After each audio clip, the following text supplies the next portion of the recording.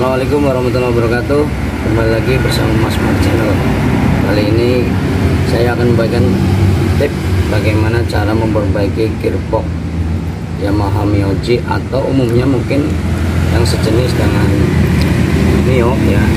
Ini gearboxnya Giginya sudah aus ya. Sudah aus. Kemudian saya beli yang baru Tapi ini bukan ori.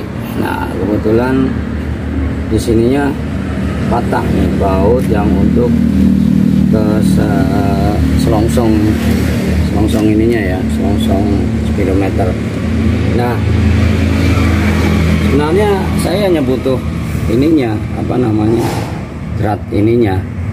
Tetapi lihat material barang non ori ini tidak meyakinkan ini aja bisa patah gitu. dan ini yang ori bawaan kebetulan tidak saya buat.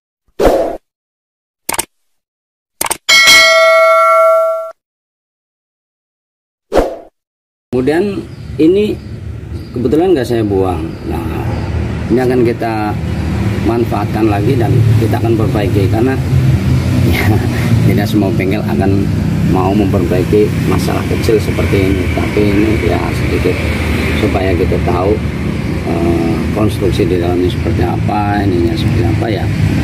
Kita bongkar gitu.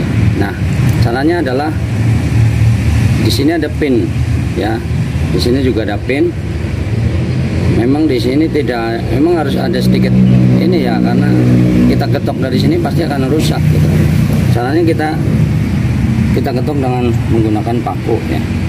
Paku kita luruskan dari ujung sini. Ini kebetulan memang sudah saya bongkar ya. Tapi ini contoh aja ini. Contohnya ini kondisinya masih rapat kita ketok keluar nih ya. Kita ketok keluar ini cetak. Kemudian di sini nongol. Nah kalau udah nongol seperti ini, ini gampang nih tinggal kita tarik. Nah nah, nah tuh ya. Ini pin-pin yang mengunci berat speedometer ini. Karena kalau tidak dibongkar ini dia tidak akan bisa keluar pin ini tadi adalah masuk ke sini. Di nok sini nih. Kemudian kita akan mengambil gearnya. Karena ini yang ini yang baru tapi barang bukan ori ya. Ini masih bagus roda giginya giginya masih bagus. Nah yang lama ini yang ori. Dia sudah rusak udah aus giginya sehingga speedometernya tidak bisa jalan di atas. Ini udah lekok udah cekum di sini. Ya. Caranya sama. Seperti tadi ini ini tadinya masuk full di dalam. Kita bikin lubang di sini menggunakan paku tadi. Nah paku kemudian kita kita cari pelurusan dia kemudian kita ketok dari sini Dek. dia akan keluar kemudian kita kita tarik sama seperti tadi ya. Sebenarnya tadi saya hanya butuh ininya tapi saya lihat material ininya bagus yang ori daripada yang, yang bukan ori. Nah ini kita copot ya. Kalau yang ori ininya seret. Tapi kalau yang bukan ori ini enggak enggak presisi gitu ya. Nah, ini kita copot. Kemudian kita ambil giginya nah ini ini lihat nih ini udah rusak. Jadi giginya ini sudah nggak mau nyangkut di sini. Di sini nih. Dia nggak bakal bisa muter speedometer nggak terbaca di sana nah ini akan kita ganti dengan menggunakan yang ini walaupun bukan bukan ori ya sementara lah untuk untuk apa namanya sementara darurat. Soalnya yang ori lumayan juga harganya gitu. Dan ini material juga masih bagus kita akalin ya. Kemudian perbedaannya adalah roda gigi ini nih roda gigi yang ori dengan yang enggak ori ini beda. Bedanya di sini. Kalau untuk panjang panjang as di sini nih ada perbedaan di sini. Tapi ini masih masuk masih masuk di sana. Kemudian as, di sininya beda dengan yang ori. Ini lebih kecil ini lebih besar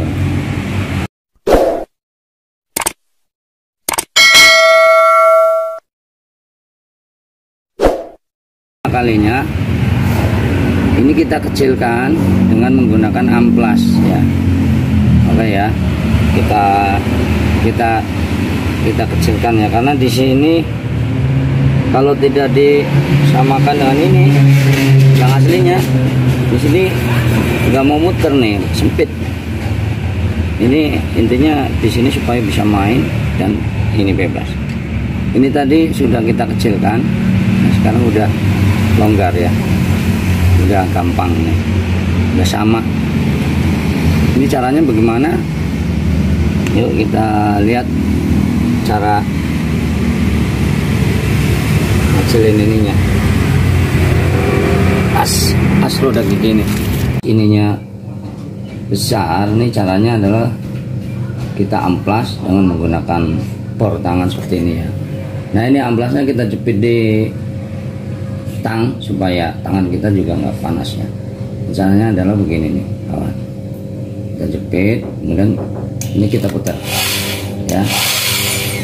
Nah. Ya. Nih. Kemudian kita ukur dengan menggunakan lubang baut yang ada di speedometer tadi. Nah ini ini sudah kendor ya kawan.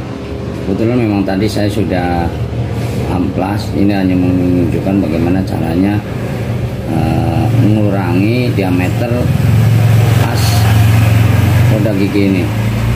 Itu kalau kita nemuin yang model seperti ini ininya lebih besar. Tapi kalau yang sudah sama dengan lubang ini ya kita nggak perlu mengecilkan. Oke demikian saja mudah-mudahan bermanfaat. Semuanya oke dengan yang ori. Sekarang kita rakit kembali lupa nih ketinggalan di sini. Ringnya ketinggalan ya kawan. Ambil dulu.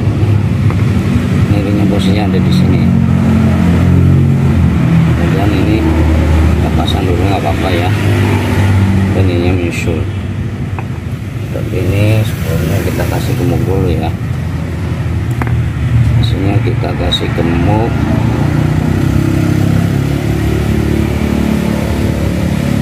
supaya licin. Dan awet ini kita masukkan ke dalam sana. Nah. Itu lubangnya kita paskan nah itu udah pas masuk. Kita coba juga putar ya putar. Oke sekarang kita pasang ini. Jangan lupa nih noknya posisikan di posisi sepi yang akan kita pasang nanti supaya lurus masuk ke sini ya. Ini kita luruskan posisi.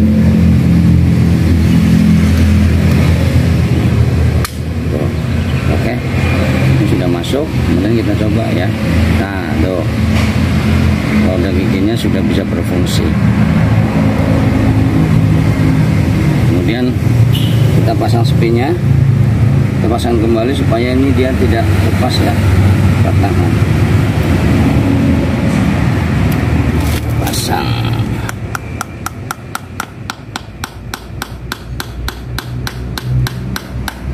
oke nah tuh ini kalau pas dia nggak bakalan ini bakal meleset Oke, demikian tutorial dari saya. Mudah-mudahan bisa bermanfaat.